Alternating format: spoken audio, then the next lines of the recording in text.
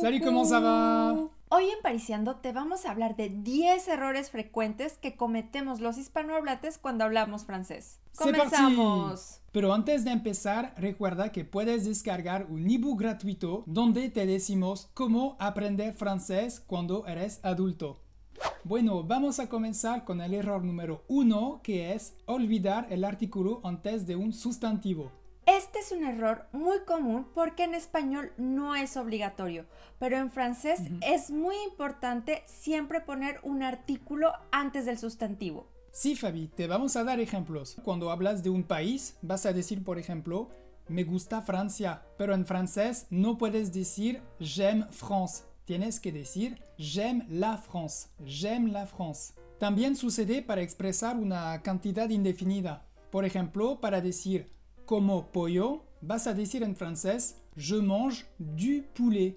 Je mange du poulet. Recuerda que du en francés es como de le, pero hacemos una contracción que es du y es un artículo que se llama partitivo. Y si quiero decir hay que comprar mantequilla, harina y huevos, ¿cómo decimos? Bueno, en francés vas a decir il faut acheter du beurre, de la farine et des œufs. Il faut acheter du beurre, de la farine et des œufs. Du porque beurre es masculino, de la porque farine es femenino y de porque e es plural. También, Fabi, hay otros contextos en que en español no van a usar un artículo antes del sustantivo, por ejemplo, cuando se trata de algo abstracto, ¿no? Sí, por ejemplo, en español decimos tiene suerte simplemente, pero en francés se dice En francés se dice il a de la chance. Il a de la chance. y tiene carisma? Tiene carisma. Il a du charisme. Il a du charisme. Porque charisme es masculino. Entonces recuerda que siempre tienes que poner un artículo antes del sustantivo en francés. El error número dos es decir je suis bien para decir que estás bien. Sí, Fabi, es porque es una traducción literal del español estoy bien, pero en francés no se dice je suis bien, tienes que decir je vais bien. Je vais bien, literalmente voy bien. Ujú. El error número 3 es decir dans le matin, dans l'après-midi o dans le soir para decir en la mañana, en la tarde o en la noche. Sí, este es un error típico que hacemos los hispanohablantes cuando queremos hablar francés porque hacemos otra traducción literal. Sí. Pero en francés no utilizamos esto, decimos simplemente le matin, l'après-midi, Sí. le soir. Es todo. Si, por ejemplo, le matin, je me lève à 7 heures. Le matin, je me lève à 7 heures. En la mañana, me levanto a las 7. O otro ejemplo, le soir, je me couche tard. Le soir, je me couche tard. En la noche, me acuesto tarde. El error número 4 es otra traducción literal, que es una trampa, que es decir, faire une question para decir hacer una pregunta. En francés no se dice faire une question, pero se dice poser une question. Poser une question. Y si quiero decir en francés, ¿te puedo hacer una pregunta? ¿Cómo diríamos? Dice je peux te poser une question. Je peux te poser une question. Y ojo con la pronunciación del verbo poser. No es poser, es poser. Poser con el sonido z. El error número 5 es olvidar la preposición de cuando usamos algunos verbos o expresiones. Sí, Fabi, es cierto? ¿Nos puedes dar un ejemplo? Sí, yo en español diría es fácil hablar francés, pero en francés la traducción es c'est facile de parler français. Sí, más despacio. C'est facile de parler français. Y lo mismo ocurre con difícil. Sí, por ejemplo, c'est difficile de parler chinois. C'est difficile de parler chinois. Que es? Es difícil hablar chino. El error número 6 es la utilización del verbo visitar. Yo sé que en español pues usamos el verbo visitar cuando refer- nos referimos a nuestros amigos o a nuestros padres, voy a visitar a mis padres o a mis amigos.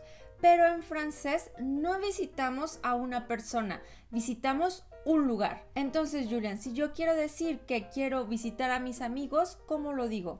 Bueno, no vas a decir je visite mes amis, Pero vas a decir, bueno, hay varias formas de decirlo. Puedes decir je rends visite a mes amis, je rends visite a mes amis, pero la verdad esta expresión no, no es muy común al hablar en francés. Más bien vas a usar las expresiones aller chez mes amis o aller voir mes amis. Aller chez mes amis, que es ir a la casa de mis amigos, o aller voir mes amis, que es ir a ver a mis amigos. Entonces la frase sería je vais chez mes amis o je vais voir mes amis. Y así es más fácil. El verbo visiter lo vas a usar únicamente para lugares. Por ejemplo, je visite le musée. Je visite le musée, que es visito el museo.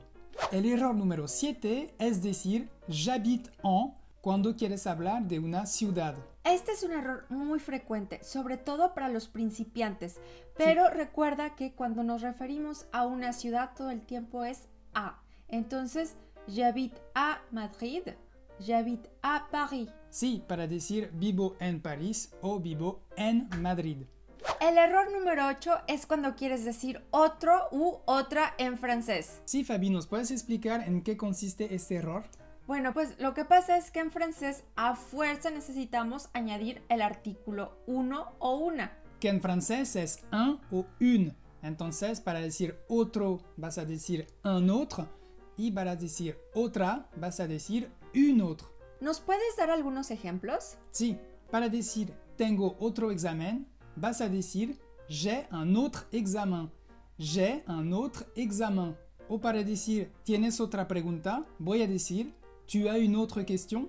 Tu as une autre question? Pero ojo, hay una excepción y es la expresión autre chose. Autre chose, que es otra cosa. En este caso, no vas a poner un artículo antes. Por ejemplo, tu veux autre chose? Tu veux autre chose? Para decir quieres otra cosa. El error número 9 es utilizar la preposición a en verbos que no lo utilizan. Esto nos pasa sobre todo con el verbo llamar porque en español normalmente utilizamos la preposición con este verbo. Si quiero decir voy a llamar a mis padres, pues la utilizamos, pero en francés no ocurre lo mismo. Si quiero decir llamo a mis padres todos los días, voy a decir j'appelle mes parents tous les jours. Sí, también ocurre con el verbo voir, que es ver en español.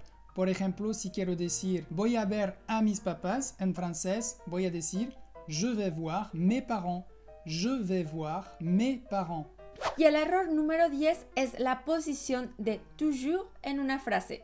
Toujours, que es siempre en español, nunca se puede poner al principio de la frase. Por ejemplo, si quiero decir siempre estoy retrasado, no voy a decir toujours je suis en retard, pero voy a decir je suis toujours en retard. Je suis toujours en retard. Entonces, como lo ves, toujours siempre viene después del verbo. Bueno, eso es todo por hoy. Esperamos que este video te haya ayudado para evitar cometer estos errores. Recuerda que tenemos el artículo en el blog pariciando.com y si te gustó el video déjanos un like y un pequeño comentario abajo. Y Julian y yo te decimos... ¡A,